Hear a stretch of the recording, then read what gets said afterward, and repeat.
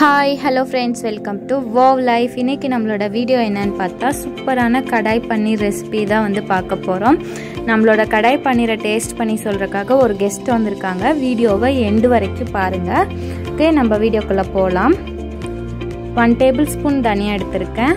நாலு வரமிளகா சீரகம் அரை டீஸ்பூன் எடுத்திருக்கேன். கால் டீஸ்பூன் வந்து சோம்பும் மிளகும் எடுத்திருக்கேன்.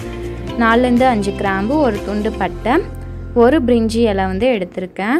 ஓகே இப்போ வந்து ஒரு பேன் வந்து ஹீட் பண்ணிவிட்டு நம்ம அதில் போட்டு நல்லா ட்ரை ரோஸ்ட்டாக வந்து பண்ணிக்க போகிறோம் நான் இன்றைக்கி ரெண்டு காஷ்மீரி சில்லி எடுத்திருக்கேன். ரெண்டு கார மிளகா வந்து எடுத்திருக்கேன். உங்ககிட்ட காஷ்மீரி மிளகா இல்லைன்னா நீங்கள் நார்மல் வர மிளகாவே வந்து யூஸ் பண்ணிக்கலாம்.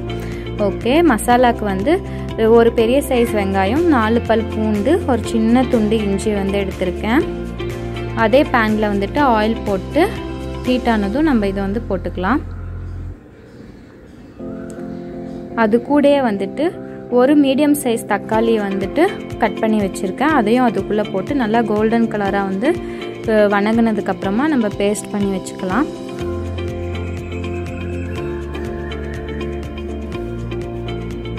ஓகே இப்போ வந்து அதே பேனில் பாதி கொடமிளகா எடுத்திருக்கேன். பாதி பெரிய வெங்காயம் வந்து கொஞ்சம் பெரிய சைஸாக வந்து கட் பண்ணி வச்சுருக்கேன். அது ரெண்டையும் போட்டு கொஞ்சம் ரோஸ்ட் பண்ணிக்க போகிறோம்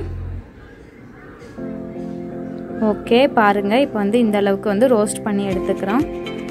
நெக்ஸ்ட்டு வந்துட்டு அதே பேன் வந்து ஹீட் பண்ணிவிட்டு பன்னீரை வந்து ரோஸ்ட் பண்ணி எடுத்துக்க போகிறோம் நான் இன்றைக்கி ஆயில் ஆட் பண்ணியிருக்கேன் அது கூட நீங்கள் வந்து பட்டர் கூட போட்டுக்கலாம். ரொம்பவே சூப்பராக இருக்கும். நான் வந்து இந்த மாதிரி சின்ன சின்ன துண்டுகளாக கட் பண்ணி நல்லா கோல்டன் கலராக ரெண்டு சைடுமே நாலு சைடுமே வந்து ஃப்ரை பண்ணி எடுத்துக்கலாம். அப்போ தான் வந்து ரொம்பவே சூப்பராக இருக்கும் டேஸ்ட்டு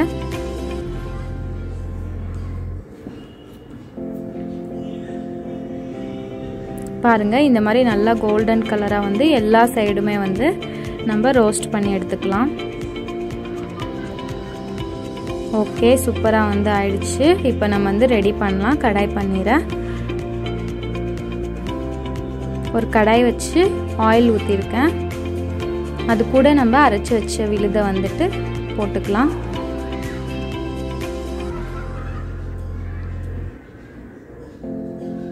போட்டு எண்ணெயில் கொஞ்ச நேரம் வதக்கிக்கலாம் அதை மசாலாவை.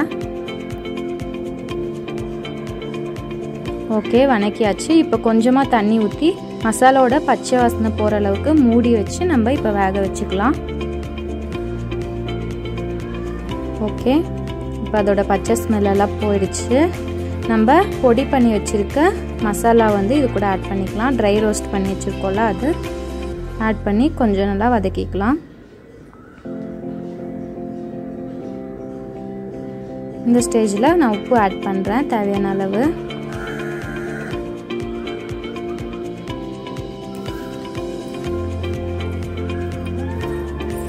ஓகே இப்போ வந்து நல்லா வந்து வதக்கியாச்சு. நம்ம இது கூட ரோஸ்ட் பண்ணி வச்சுருக்க கேப்சிக்கமும் வெங்காயமும் போட்டு வதக்கிக்கிறோம்.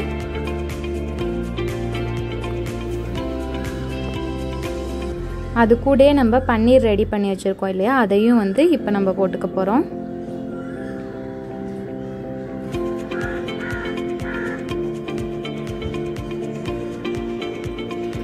அவ்வளோதான் இப்போ வந்து பன்னீர் குக் ஆகிறதுக்கு தேவையான அளவு வந்து தண்ணி ஆட் பண்ணிக்கிறேன்.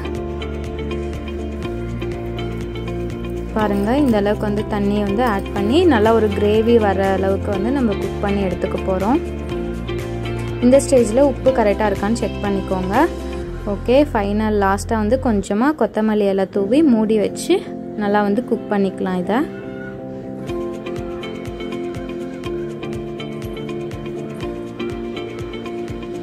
ஓகே இப்போ வந்து ஓப்பன் பண்ணலாம். ரொம்பவே சூப்பரான கிரேவி வந்து கிடச்சிருக்கு. அப்படியே ஆயிலெலாம் வந்து மேலே வரணும். அப்போ தான் வந்து ரொம்பவே சூப்பராக இருக்கும். பாருங்கள் ரொம்பவே சூப்பராக இருக்குது இப்போ நம்ம டேஸ்டிங்க்கு போகலாம்